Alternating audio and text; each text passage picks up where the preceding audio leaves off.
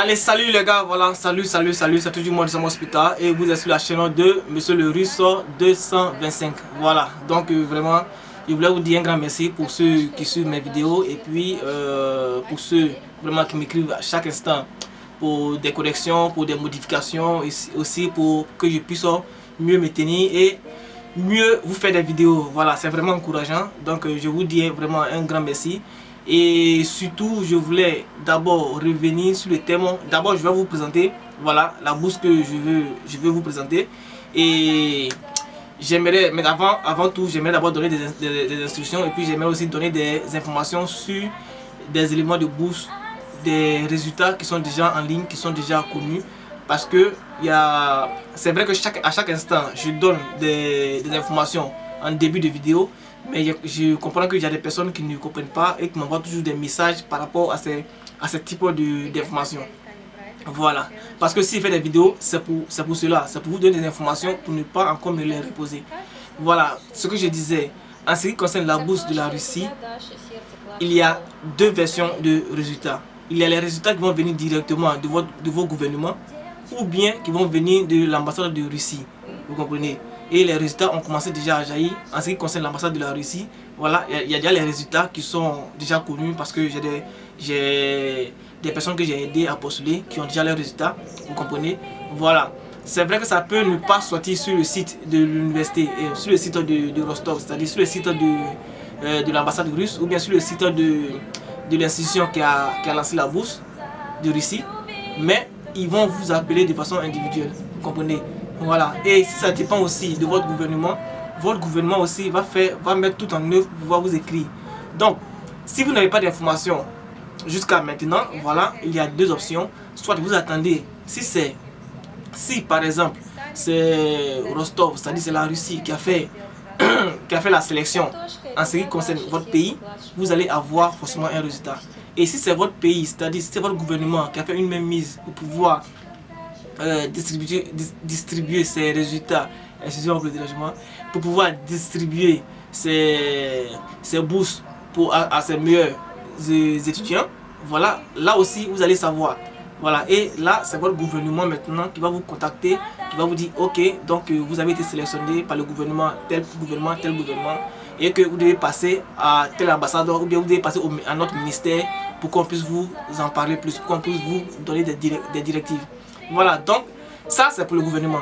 Maintenant, si c'est pour euh, l'ambassade de Russie, si c'est pour le gouvernement russe qui fait la sélection, vous allez envoyer directement un coup de fil de l'ambassade de Russie dans votre pays pour vous dire que c'est vrai, vous avez bien fait et tout, donc euh, vous avez eu la bourse pour pouvoir postuler, pour pouvoir venir étudier, vous comprenez?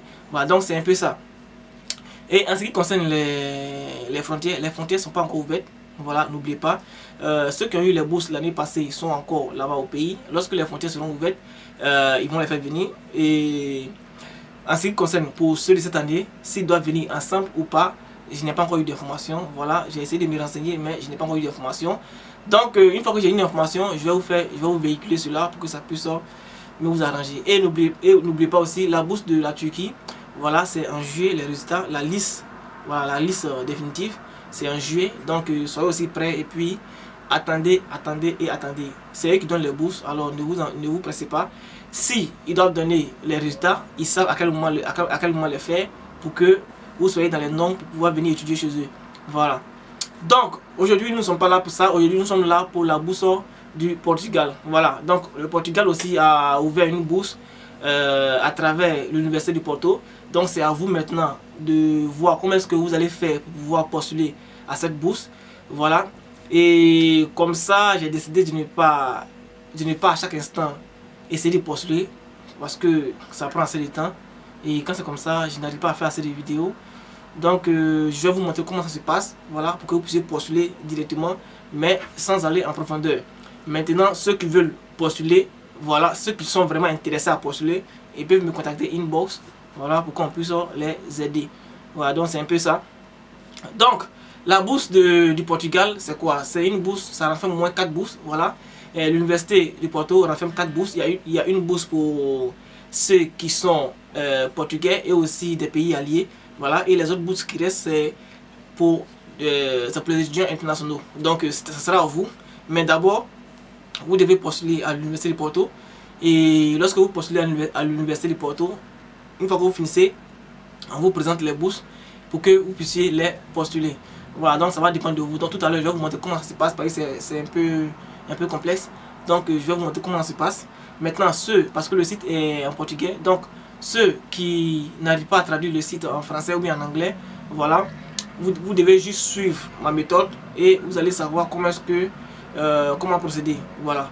Donc n'oubliez pas, le numéro est en description et puis le lien aussi, hein, le lien de cette vidéo est en description pour ceux qui veulent vraiment euh, solliciter notre aide, pouvoir postuler. Voilà, nous sommes là, il n'y a pas de problème, on peut vous aider à postuler. Donc euh, les gars, n'oubliez pas, mais avant tout, ayez en face de vous votre passeport, vos diplômes, ça c'est ce qui est primordial, c'est ce qui est normal, c'est ce qui est à la base, voilà. Et vous pouvez postuler à plusieurs, plusieurs, plusieurs facultés, donc n'oubliez pas, on y va et à tout à l'heure les gars.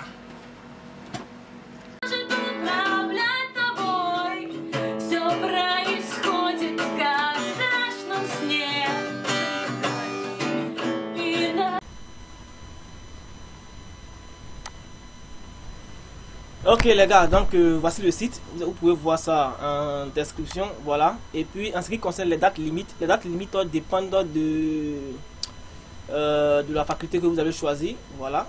Tout dépend de la faculté que vous allez, choisir, donc euh, il n'y a pas de date limite en tant que tel. Donc n'oubliez pas cela. Et, donc ici, moi je vais traduire en français. Pour ceux qui n'arrivent pas à voir français, vous devez juste suivre comme ce que je vous ai dit dans la vidéo. Donc ici, par exemple, comme ça, euh, je viens dans... Je viens ici. Ok, je vais vous donner, je vais vous montrer quelque chose et puis vous montrer comment est-ce que vous devez postuler. Voilà, et en même temps aussi, euh, vous devez savoir,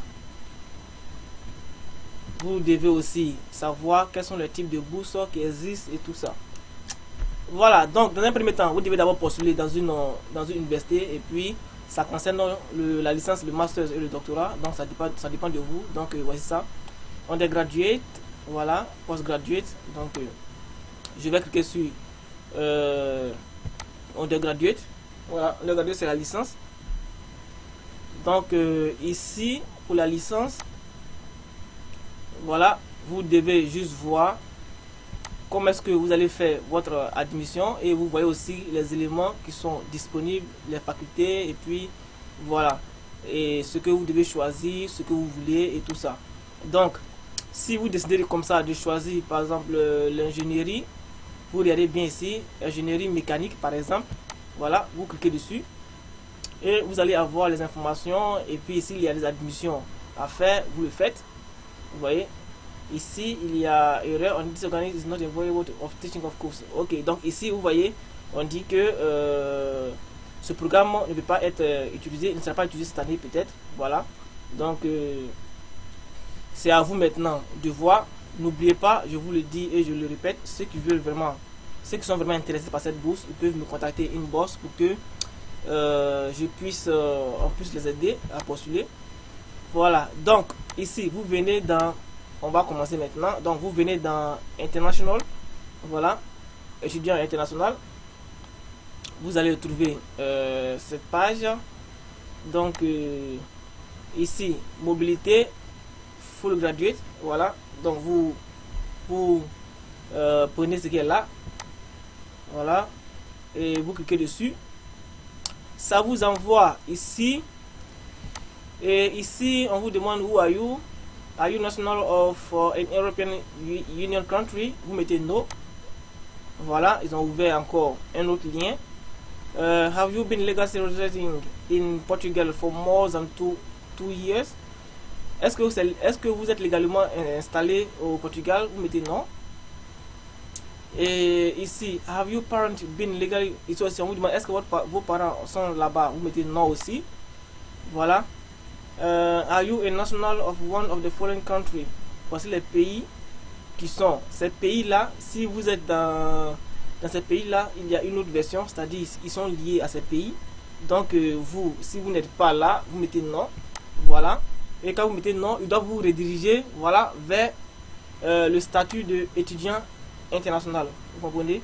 Voilà. Donc, vous êtes maintenant euh, dans le statut d'étudiant international, là, c'est ici que vous allez voir vos éléments pour pouvoir postuler. Voilà, donc euh, c'est ici que vous choisissez votre faculté et vous postulez. Donc, voici les liens. Il y a undergraduate, licence, master et puis doctorat. Donc, vous choisissez, je considère que je viens pour la licence. Donc, je choisis euh, ici licence. Voilà, je clique sur licence et ça me conduit là. Voilà. Donc, je vais mettre en français. Comme ça, vous allez me comprendre. Donc, spécialement, n'oubliez pas aussi, il y a le corps médical, comme vous voyez là. Voilà, vous pouvez faire la médecine aussi ici, avec une bourse. Voilà, donc, euh, c'est pas vraiment euh, compliqué. Donc, spécialement développé pour entamer une carrière académique de plus haut niveau, le cours au premier cycle, enseigné dans les 14 facultés de, de l'UPOTO, englobe presque tous les domaines de connaissances. Voilà. Donc, ici, vous venez là, vous choisissez votre faculté, ce que vous voulez faire. Ici, c'est l'espace de faculté. Si votre faculté contient des mathématiques et tout ça, voilà, c'est pour mieux diriger en fait. Donc moi je considère qu'il vient faire par exemple l'informatique, je prends sciences, sciences mathématiques, informatique. Voilà. Et cycle, je prends cycle d'études, je vais choisir comme ça, économie ou bien je vais choisir euh, un instant, je cherche s'il y, y, a les mathématiques, je vais prendre, voilà, euh, premier diplôme en informatique, voilà, je vais choisir ça. Et ici, la faculté, c'est la faculté de quoi? Je vais choisir la faculté. Ici, il y a nutrition alimentation. Ici, c'est sport, faculté des sciences. Ok, maintenant, je lance ma recherche. Ce sont les cours que nous avons pour vous. Voilà, donc euh, ici, dans les normes, dans les normes, les frais de scolarité, c'est quoi? C'est 3000 euros. Ça, c'est 100 bourses. Voilà. Ça, c'est 100 bourses. Et ça fait 3 ans. Ça dure 3 ans, je veux dire. Et si vous avez une bourse, voilà, cette bourse, elle est vraiment complète. Et vous n'allez même pas payer la scolarité, vous n'allez pas payer, vous n'allez rien payer. Voilà. Donc, euh, c'est un peu ça.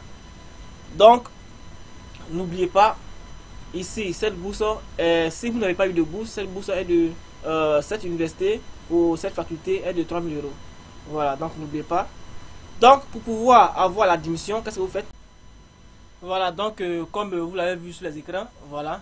Une fois que, comme ça, vous allez finir de, postuler, c'est-à-dire vous allez envoyer vos coordonnées, ils vont vous rejoindre directement euh, dans votre boîte mail et de là-bas, ils vont essayer de vous envoyer des messages pour pouvoir intégrer leur université ou bien leur faculté.